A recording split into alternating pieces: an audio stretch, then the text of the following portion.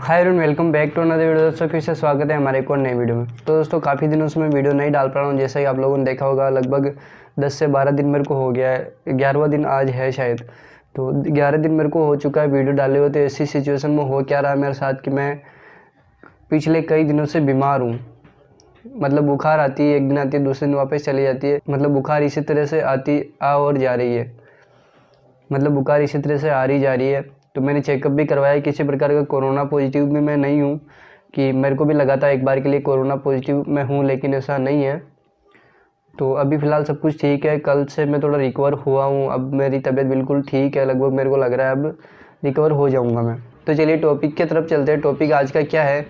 Topic ये है कि मोबाइल मार्केट मोबाइल रिपेयरिंग या एसेसरीज आप कुछ भी मान लीजिए, उसका कचरा होते मतलब कचरा होता जा रहा है। धीरे धीरे जैसे जैसे मार्केट बढ़ते जा रहे हैं, जितनी दुकानें मार्केट में आ रही है, उसी प्रकार से कचरा होता जा रहा है, जिसकी वजह से हो क्या रहा है कि जैसे अभी मैंने नई दुकान लगाई है, मान लीजिए तो मैं क्या करूँगा कि ग्राहक सेट करने के लिए जो ग्लास कार्ड मुझे मतलब कि मान लीजिए कोई पंद्रह से बीस रुपये का ग्लास कार्ड अच्छी क्वालिटी का आता है, जो कि हम तीस से चालीस रुपये में लगा के देते हैं।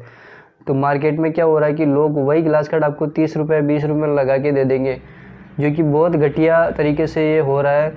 मैं इसी को, मैं इसी को कचरा मानता हूँ, क्योंकि कचरा किया जा रहा है मार्केट का, कंपटीशन जानबूझ करके बढ़ाया जा रहा है।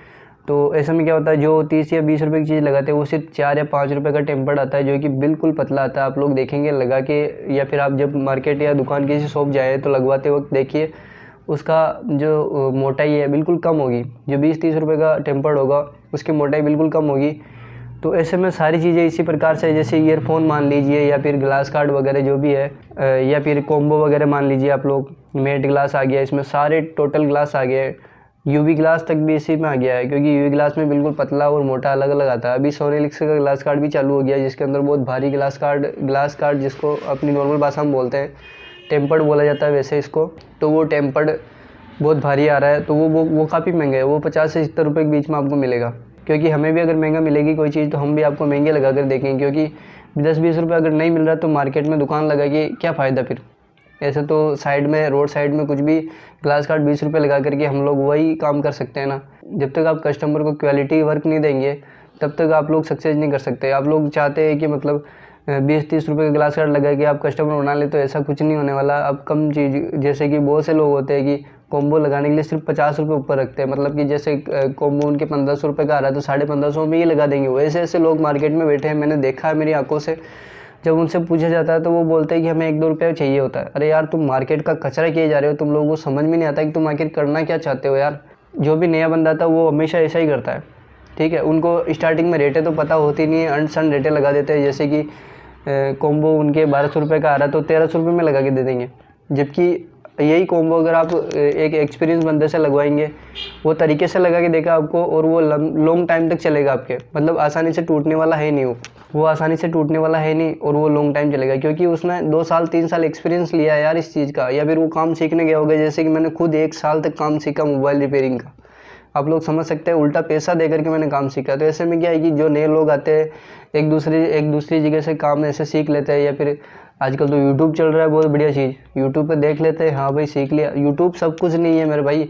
आप लोग एक्सपीरियंस तो करिए कोई चीज़ की, दो, एक, दो साल काम करिए कोई जगह। आप, जैसे कोई शॉप है पास में तो वहाँ आप लोग काम करके देखिए कि कितनी चीज़ें आपको मार्केट में देखने को मिलेगी कि किस तरह के कस्टमर आते हैं, किस तरह से आपको जो है मार्केट में सामान बेचना, सामान का कितना पैसा आपको लेना है, किस किस प्रकार से आपको चार्ज करना है किसी भी चीज़ का, वो सारी चीज़ें पता होनी चाहिए।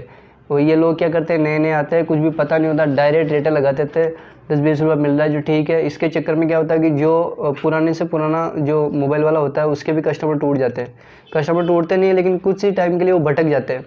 तो ऐसे में क्या होता है, वो लोग इसका कचरा कर रहे हैं, मार्केट का बिल्कुल कचरा किए जा रहे हैं। तो भाई, अगर आपको, आप लोगों को पता नहीं है किस प्रकार से किस चीज़ का जो चार्ज लिया जाता है तो आप लोग अपने से सीनियर को पूछ सकते हैं, वो मना नहीं करेंगे, आपको बता देंगे। आप रिक्वेस्ट करिए उनसे, या फिर आप दादागिरी करके पूछेंगे तो कोई नहीं बताएगा। वो लोग आप, वो लोग यही चाहेंगे कि आप जल्दी से जल्दी मार्केट में दुकान खाली करके चले जाए। और ऐसे लोग जल्दी से जल्दी खाली करके निकल भी जाते हैं, क्योंकि वो थोड़े ही दिन ऑफ़र ऑफ़र दे दे के लोगों को चूतिया बना करके उनको बुला तो लेते हैं, लेकिन फिर लंबे टाइम तक कस्टमर उनके पास नहीं नहीं टिकता है। मैंने काफ़ी दुकानें देखी है, मुझे दो साल मुझे हो गया काम करते हुए। बहुत सारे लोग आके चले गए मार्केट के अंदर कोई केबिन लगाता है, कोई दुकान किराए पे लेता है। ऐसे काम नहीं होता है मेरे भाई। अगर आप लोग आते ही मार्केट का कचरा करेंगे ना तो आप बहुत जल्दी घर पर पहुँच जाएँगे वापस। करोड़ से रोड पे आने में टाइम नहीं लगता, लेकिन रोड से करोड़ पे आने में टाइम लगता है मेरे भाई। इसलिए सारी चीज़ें एक्सपीरियंस करिए, उसके बाद आप मार्केट में आइए। या फिर आप लोग काम सीख सकते हैं, कहीं भी एक साल छः महीने कहीं भी काम सीख लीजिए, आपको बहुत सारी चीज़ें सीखने को मिलेगी। जो आप सोच भी नहीं सकते ना, वो वो चीज़ें आपको सीखने को मिलेगी, जो कि आपके वर्क टाइम में बहुत काम आएगी। दोस्तों, मेरा कहना यही है कि आप लोग ऐसा कचरा ना करें मार्केट का, जो रेट वाकई में लगनी चाहिए मार्केट में, जो चीज़ जैसे कॉम्बो पे कितना पैसा लेना, उतना ही पैसा लेना वाजिब होता है।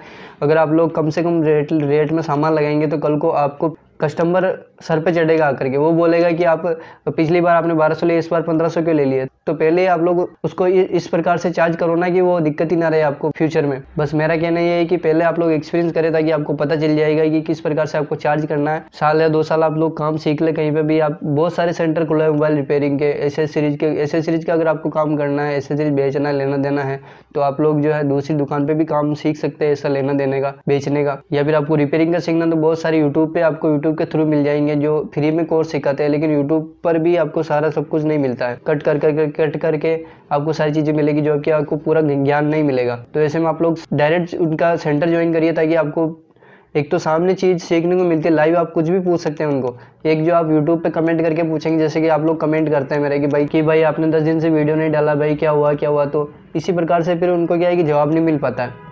तो ऐसे में आप डायरेक्ट उनका सेंटर ज्वाइन करिए ताकि आप लोगों को सारी चीज़ें सीखने को मिलेगी, वो भी लाइव ताकि अगर आप लोग सीख करके आएँगे तो आप मार्केट का कचरा नहीं करेंगे, इस बात की गारंटी मैं आप लोगों को देता हूँ। तो दोस्तों वीडियो चला प्लीज़ वीडियो को लाइक करें चैनल पर नए चैनल को सब्सक्राइब करिए साइड में दिखे आइकन क्लिक करिए ताकि हमारे नए नए वीडियो नोटिफिकेशन आपको मिलते रहे। जय हिंद, जय भारत।